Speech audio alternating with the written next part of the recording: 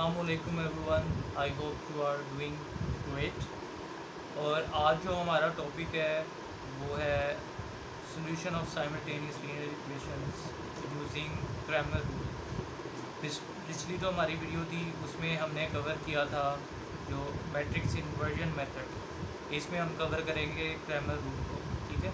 तो ये इंतहाई इम्पोर्टेंट टॉपिक है लॉन्ग क्वेश्चन के हवाले से कि अक्सर ही एग्ज़ाम्स में कोई आपकी असेसमेंट है, उसमें आ जाता है, बहुत ही इंपॉर्टेंट है। और अगर आप स्टेप्स को फॉलो करेंगे तो बहुत ही आसानी से आप इसको समझ सकते हैं और बच्चों को अक्सर ही इसमें कन्फ्यूज़न रहती है। बस आपने वीडियो को गौर से देखना है स्किप नहीं करना। और आपने स्टेप्स को फॉलो करना है, आपका ग्रामर रूल बहुत ही क्लियर हो जाएगा आपको, ठीक है? तो सबसे पहले स्टार्ट कर लेते हैं, ठीक है, कि सेम जिस तरह हमने मैट्रिक्स इन्वर्जन में हमने बात की थी, उस मेथड में, ठीक है? इसमें भी हम बात करेंगे। आपको कोई भी इक्वेशन दे दी जाती है a x plus b y is equal to m c x plus d y is equal to n की फॉर्म में ठीक है? ये साइमल्टेनियस इक्वेशन आपको दे दी जाती है। तो फिर उसके बाद आपको क्या कहा जाता है? कि इसको सॉल्व करें क्रैमर रूल के थ्रू ठीक है? सबसे पहले आपने a x is equal to b की फॉर्म में इसे लिखना होता है। फिर उसके बाद इसको x is equal to a inverse b की फॉर्म में लेके जाना होता है, ठीक है? जो कि बाद में बन जाता है। आपने इन्वर्स लेना है तो adjoint of a divided by उसका जो डिटर्मिनेंट होता है मल्टीप्लाई के बी मैट्रिक्स से, ठीक है? तो सबसे पहले इसको ज़रा सॉल्व कर लेते हैं प्रूफ के लिए, क्योंकि इसका प्रूफ भी इम्पोर्टेंट होता है, ठीक है? और ये आगे बहुत हेल्पफुल होगा, ठीक है? आप इसको देख लेते हैं कि इसमें आप लेट कर लेते हैं ए मैट्रिक्स ठीक है? उसको हम लिख लेते हैं ए बी सी और डी ठीक है? और बी मैट्रिक्स कह देते हैं हम, वो हमारे पास है राइट हैंड साइड पे एम और एन ठीक है? और एक्स मैट्रिक्स हम कह देते हैं, हमारे पास ये जो एक्स और वाई की अल्फ़ाबेट्स हैं वो हैं, ठीक है? अब हमने क्या करना है? इसको हमने इस फॉर्म में लेके जाना है। इस फॉर्म में जब हमने लेके जाना है तो क्या होगा? सबसे पहले आप ए इन्वर्स फाइंड कर लेते हैं। ए इन्वर्स के लिए क्या होगा? ए डिटर्मिनेंट फाइंड करेंगे और a determinant should not be equal to zero ठीक है? वही ज़ीरो के इक्वल नहीं होना चाहिए। ए का जब डिटर्मिनेंट ये तो कह रहे अल्फ़ाबेटिकल वैल्यूज़ है, इसमें ज़ीरो तो नहीं आएगा, लेकिन जब नमेरिकल या मैथमेटिकल वैल्यूज़ होंगी तो ज़ीरो के इक्वल डिटर्मिनेंट नहीं आना चाहिए, तभी सिर्फ़ इन्वर्स लिया जा सकता है। तो इसके लिए क्या करेंगे? इन दोनों को क्रॉस मल्टीप्लाई करेंगे a d minus b c ठीक है? तो ये हमारे पास a d minus b c इसका डिटर्मिनेंट आ गया, ठीक? है अब जब इसका एडजॉइंट लेंगे एडजॉइंट ऑफ़ ए करेंगे हम, ठीक है? तो वो क्या होगा? इन दोनों की पोजीशन चेंज कर दें। इन दोनों के साइन चेंज कर दें। ठीक है? अब हम अगर कर लें इसको इस फॉर्म में लिख लें, ठीक है? तो x is equal to joint d minus b minus c a और b क्या है हमारे पास? एम और एन और ये डिवाइड हो रहा था, ये हमारे पास जो डिटर्मिनेंट निकला था a d minus b c से। ठीक है? अब हम इसको ज़रा सोल्व कर लेते हैं। ये हमारे पास क्या बनेगा? इस रो को इस कॉलम से मल्टीप्लाई कर दिया, ठीक है? D m plus minus b n ठीक है? इसको इससे मल्टीप्लाई किया। अब ये minus c into m plus a into n ठीक है? Divided by a d minus b c अब हम इसको क्या करेंगे? मज़ीद सिंप्लीफाई कर लेंगे, ठीक है? तो हम इसको लिख लेते हैं यहाँ पर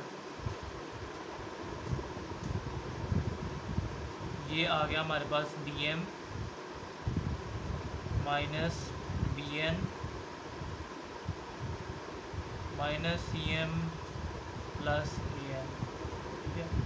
और ये है divided by a d minus b c ठीक है? अब इसको हम इस चीज़ को डिवाइड कर देते हैं इस मैट्रिक्स के साथ, ठीक है? तो ये बन जाएगा d m minus b n divided by a d minus b c a n minus c m बस इसकी जगह मैंने चेंज किया a d divided by minus b c अब ये जो हमारे पास यहाँ पर एक्स मैट्रिक्स था, वो क्या था? किसके इक्वल हमने लेट किया हुआ था एक्स और वाई के इक्वल ठीक है? यहाँ से एक्स की वैल्यू ये आ जाएगी वाई की वैल्यू ये आ जाएगी, वो जो इक्वेट करते हैं हम सिंपली ठीक है? तो उससे क्या होगा? अब हम एक्स की वैल्यू लिख लेते हैं, क्या आ जाएगी? D m minus b n divided by a d minus b c ठीक है? अब ये जो हमारे पास नीचे वाली टर्म थी, ये तो ए के डिटर्मिनेंट के इक्वल है, ठीक है?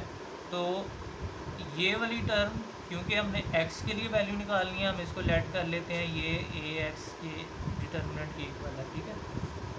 तो ये हमारे पास ए एक्स का डिटर्मिनेंट डिवाइडेड बाय ए का डिटर्मिनेंट करेंगे तो ए की एक्स की वैल्यू आ जाएगी। ठीक है? इसी तरह हम वाई की अगर हम लिख लें value a n divided by c m और a n minus c m a d minus b c तो ये हमारे पास ए का डिटर्मिनेंट है। इस, ये वाई की वैल्यू निकालनी है, इसलिए हम ए वाई इसको कह लेते हैं लेट कर लेते हैं। तो ये किसके इक्वल आ गया? A y divided by determinant of a ठीक है? तो अब आपको इसका पता चल रहा होगा कि इसका फ़ायदा क्या है। इसको सॉल्व करने से सिंपली अगर आपको कोई भी क्वेश्चन दिया हो वो आगे हम सॉल्व करते हैं, मैं फिर आपको दिखाता हूँ। कोई भी क्वेश्चन दिया हो सिंपली आप ये फाइंड कर लें, ये फाइंड कर लें एक्स वाई की आपको वैल्यू पता चल जाएगी, ठीक है? अब इन शॉर्ट जो हमारे पास ए एक्स है, ठीक है, वो हमारे पास इक्वल है। वो हमारे पास इक्वल आ गया यहाँ पर, हम उसको लिख लेते हैं। एम बी एन डी ठीक है? वो कैसे? कि अब हमारे पास ये ऊपर वाली टर्म को पे अगर आप फोकस करें, ठीक है? ये हमारे पास ए एक्स मैट्रिक्स है, ठीक है? ए एक्स है डिटर्मिनेंट ए एक्स है सॉरी तो ये हमारे पास ए एक्स मैट्रिक्स है। अब इसका जब हम डिटर्मिनेंट लेंगे तो देखिएगा, अब ये सेम ऊपर वाली टर्म बन जाएगी, ठीक है? अब एम डिटर्मिनेंट में क्या करते हैं? क्रॉस मल्टीप्लाई करते हैं। D m minus b n ये देखिए, ये सेम टर्म बन गई। इसी तरह ये ए एक्स का जो डिटर्मिनेंट था, उसको हमने मैट्रिक्स की फॉर्म में लिख दिया ताकि आसानी हो आपके लिए। जब भी आपको इस फॉर्म में इक्वेशन आए तो आपको आप उसको इस मैट्रिक्स में पुट करके सीधा डिटर्मिनेंट ले सकें। तो आप आगे क्वेश्चन करेंगे तो मज़ीद क्लैरिफाई आपके लिए हो जाएगा। अब हम ए वाई की अगर हम बात कर लें तो उसको हम लिख सकते हैं इस वाले को, ठीक है? इस वाले को हम लिख लेंगे। सिंपली इस तरह कर लेते हैं कि ये जो हमारे पास जिस तरह हमने डी एम और बी एन को इस तरह लिखा था, ठीक है? इसी तरह हम क्या करेंगे? ए एन है तो ये यानी इधर क्रॉस मल्टीप्लाई हुए हैं। और माइनस सी एम है, ठीक है? तो जिस तरह ये बी एन था तो यहाँ पर सी आ जाएगा, यहाँ पर एम आ जाएगा, ठीक है? तो अब अगर हम इसका डिटर्मिनेंट लें, ठीक है तो क्या होगा? A n minus c m, वही सेम ऊपर वाली टर्म आ जाएगी। तो ये अगर आप याद कर लेते हैं ना, ये दो मैट्रिक्स को और इन दो चीज़ों को तो क्रैमर रूल आपके लिए बहुत ही आसान है, ठीक है? वो कैसे? अब मैं आपको एक एग्जांपल करके दिखाता हूँ तो आप यकीन माने अब आप आगे कहेंगे कि क्रैमर रूल हमें क्वेश्चन में आए तो हम उसको फटाफट सॉल्व करें, ठीक है? ये लॉन्ग क्वेश्चन होता है इसके टेन मार्क्स का भी लॉन्ग क्वेश्चन है, याद होता है ठीक है? तो इसको मैं आपको सॉल्व करके दिखाता हूँ क्वेश्चन फिर आपको पता चलेगा कि इन दो मैट्रिक्स की क्या इंपॉर्टेंस है और इस इक्वेशन की क्या इंपॉर्टेंस है। कितनी जल्दी से आपका क्वेश्चन सॉल्व हो जाएगा। अब हम एक क्वेश्चन कर लेते हैं, ठीक है? एग्जांपल ताकि आपके लिए क्लैरिफाई हो जाए, आसान हो जाए, ठीक है? तो सबसे पहले हम एक क्वेश्चन कर लेते हैं। एक three x minus two y is equal to one minus two x plus three y is equal to two ठीक है? अब सबसे पहले हमने क्या करना है? A x is equal to b कर लिया। इसको हमने x is equal to a inverse of b की फॉर्म में लेके आना, ठीक है? अब हमारे पास यहाँ पे देखें ए मैट्रिक्स क्या बना। ए मैट्रिक्स बन गया जी three minus two minus two three ठीक है? एक्स हमारे पास क्या बना? वही एक्स वाई बन गया, ठीक है? अब बी मैट्रिक्स हमारे पास क्या बना? वन और टू बन गया। अब इन इक्वेशंस का देखिए क्या फ़ायदा होता है, ठीक है? अब हम अगर इन दोनों इक्वेशन को इक्वेट कर लें, इन दोनों इक्वेशन को, ठीक है? अब ये वाली जेनेरिक इक्वेशन है, ये वाली हमें क्वेश्चन गिवन है, ठीक है? अब ए एक्स हमारे पास मैट्रिक्स क्या बनेगा? यहाँ से आप गौर करें।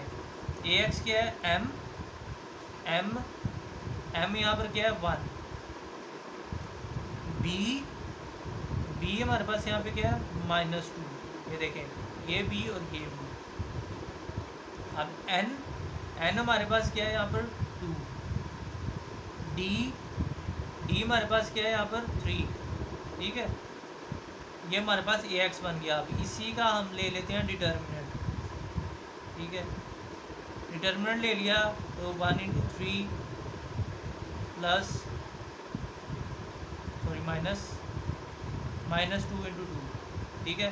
तो ए एक्स का हमारे पास डिटर्मिनेंट क्या आ गया?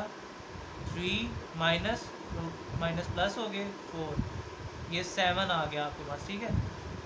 अब हमने क्या करना है? कि इसी तरह ए वाई मैट्रिक्स लिख लेते हैं। ए तो सबसे पहले हमने ए देखना है। यहाँ पर थ्री है। सी सी कहाँ पर है? ये है माइनस टू है। एम कहाँ पर है? एम ये हमारे पास वन और एन कहाँ पर है, ये टू है। ठीक है?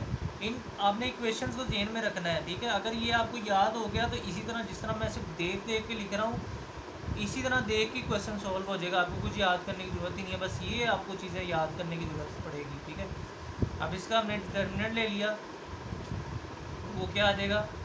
Three into two minus minus two into one ठीक है, क्या बन गया? सिक्स प्लस टू एट बन गया, ठीक है? अब ए एक्स और ए वाई के डिटर्मिनेंट आ चुके हैं। अब ए का डिटर्मिनेंट ले लेते हैं, ठीक है? वो हमारे पास क्या आ जाएगा थ्री इंटू थ्री ठीक है? Minus minus two into minus two ठीक है? अब ये हमारे पास क्या बन गया? Three into three nine minus minus minus plus हो गया टू टू फोर ये फाइव हो गया। अब एक्स की वैल्यू किस तरह आएगी ये देखें। अब ए एक्स का डिटर्मिनेंट डिवाइडेड बाय ए का डिटर्मिनेंट ठीक है? सिंपली क्या करें? ए एक्स की वैल्यू क्या आएगी एक्स की determinant seven divided by a का डिटर्मिनेंट फाइव वाई की वैल्यू क्या थी? A by divided by a का डिटर्मिनेंट और वो क्या था? ए बाय का डिटर्मिनेंट क्या था? एट डिवाइडेड बाय फाइव ये देखें। बहुत ही आसानी से सिर्फ़ देख के क्वेश्चन आपका सॉल्व हो जाएगा। सिर्फ़ आपने क्या करना है? इन दो मैट्रिक्स को याद कर लेना है अल्फ़ाबेटिकली ठीक है? यहाँ से बस आपने फिर जो क्वेश्चन गिवन होगा, आपने देख लेना एम अच्छा एम ये था, ये आ गया बी था, ये ये आ गया। इस तरह आपने सिर्फ़ ये मैट्रिक्स बनाना सीख लेना प्रैक्टिस से। ये याद करके। एक्स और वाई की, देखिए, इतने छोटे दो तीन स्टेप्स में एक्स और वाई की वैल्यू फाइंड होती, ठीक है?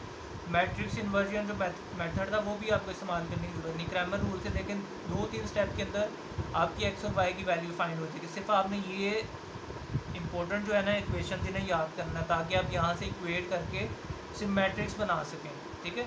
आई होप आपको ये वीडियो हेल्पफुल लगी होगी। तो इस चैनल को लाजमी सब्सक्राइब करें वीडियो को कंप्लीट देखा करें और प्रैक्टिस किया करें। और लाइक किया करें, अपने फ्रेंड्स के साथ शेयर किया करें। ये आपकी तरफ़ से अप्रिसिएशन होती है, ठीक है?